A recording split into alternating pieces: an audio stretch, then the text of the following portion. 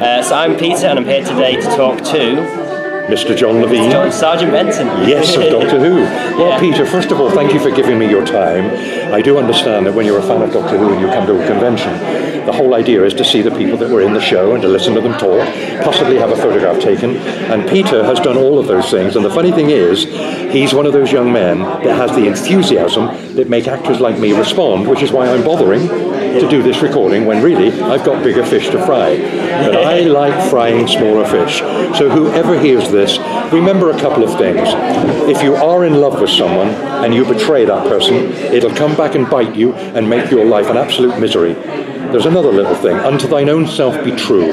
If you lie to yourself and you lie to other people, it'll come back and get you. And one day, you'll suddenly realize what a fool I've been. I've lost the woman or man I love. My parents don't want to talk to me anymore. All because you lied or told a bloody lie because you thought it might help someone. My problem is I'm very honest. I cannot fuck around telling people things that aren't true. You've got to be honest. So, unto thine own self be true. And the reason, as I said, I'm doing this for Peter is because Peter's one of those fans. I don't even like the word fan because it stands for fanatic.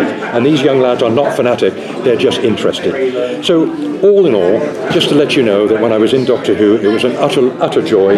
And the fact that Peter, all these years, after 50 years of us doing the show, I'm not that old. that- no, no, no. But the fact that Peter's young and watching a show that was made 50 years ago is quite remarkable. So I'm going to close this now by saying, be good to the people you know, and if you are in love with someone, tell them you love them. Don't think that they know you do. And that's how all the marriages and relationships break up. And you also have to talk to each other. All these smartphones, which are killing everyone, I consider these smartphones liquid cancer. I would no more have one of these. I would rather die than own a smartphone or a computer. Now, having said that, my website is run on a computer, but somebody else does that. I'm dyslexic, so I can't use typing.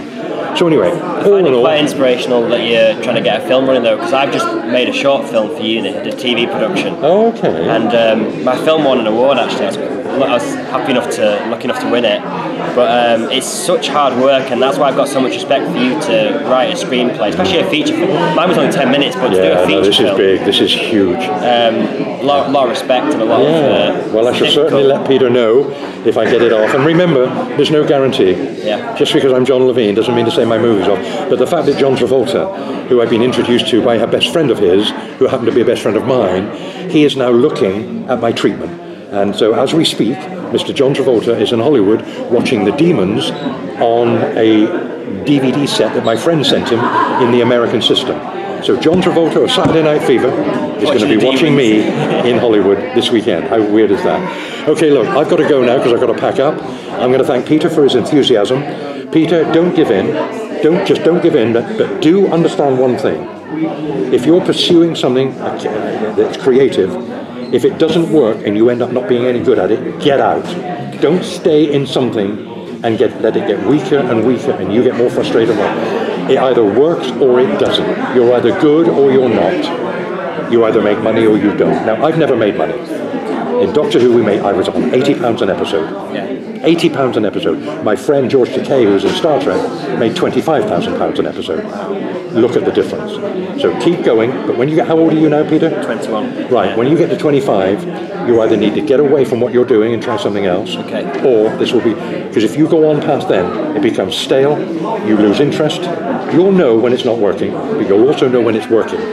And if it's working, let me know on my website and say, John, remember the little chat we had in Aldbourne? It worked. I've done a little thing and it's lovely. And I would love to see your. If you want to send that to my website, Yeah. I would see it privately. We wouldn't put it on the on the website necessarily, but I'd love to see your work. I love seeing what other people do. Okay. All the I worked with um, so there's a there's a documentary on this Doctor Who DVD, and Toby Hadoke got me a job on it. Do you know, you know Ah, Toby? yeah, I love yeah. Toby. I res- now Toby's my hero. Yeah, He's great, he's fucking fantastic. He did the review of. I sent him some private DVDs of my private life. He sent me back a written review of all of them. Best stuff I've ever. Oh, I adore Toby. I'd, I- I'd actually go over. I do a lot for Toby. He knows that, and his wife. Oh, he wrote, he wrote the introduction to your yeah, biography, didn't he? to my book. Yeah. Have you read my book? I've got it, but I've It's- not got around to reading it It's yet. ever so so- sad. I've had a brutal life. It's been yeah, but, you but that, that shows how good you've come out of it, though, and, yeah. and how much you've had to, yeah. you've had to, you've to go through. Yeah. 80 years of grind. And here I am now. Right, Peter, I need a drop of water. Good luck to everyone that hears this. It's a pleasure. Thanks. It'll be two pounds.